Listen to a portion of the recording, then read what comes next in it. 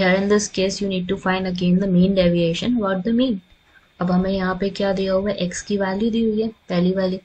और सेकंड हमें क्या दिया हुआ है? नंबर ऑफ़ बॉयज़ इसका मतलब क्या है? This is nothing but the frequency तो हमारा सबसे पहला टेबल क्या बनेगा इस सिचुएशन में? एक्स है। सबसे पहले हम क्या निकालेंगे? मिड पॉइंट निकालेंगे, क्योंकि ग्रुप डेटा है।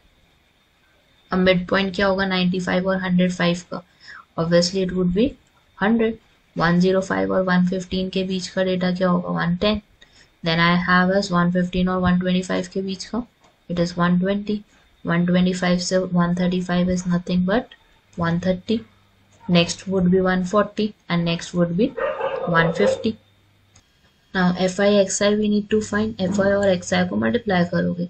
So this would give you 900 110 को आप 13 से मल्टीप्लाई करोगे। दिस वुड गिव यू 1430 उसके बाद आपके पास 120 ट्वेंटी 26 हो जाएगा, that would give you 3120 130 into 30 is there.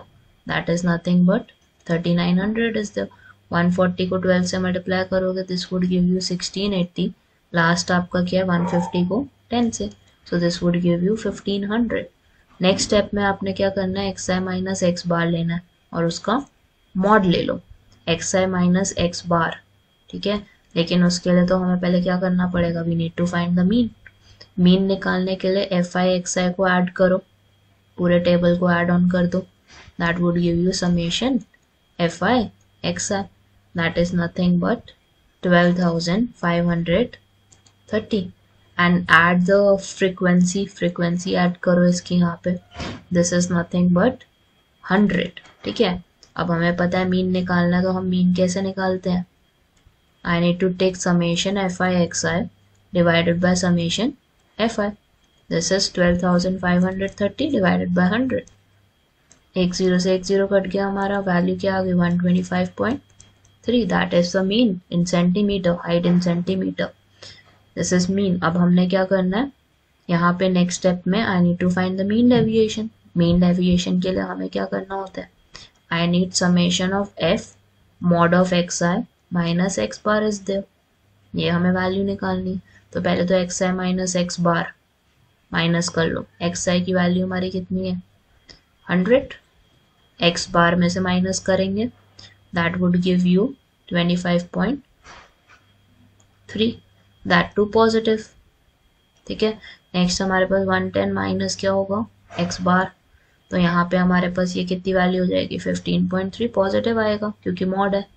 उसके बाद नेक्स्ट स्टेप पे it would give you five point three then it would be giving four point seven four point seven के बाद हमारे पास आ जाएगा 14.7 then I would have 24.7 अब last step में आपने क्या करना है? F i this table and this table needs to be multiplied nine को 25.3 से करोगे this would give you two two 7.7 13 को किससे करोगे? 15.3 से.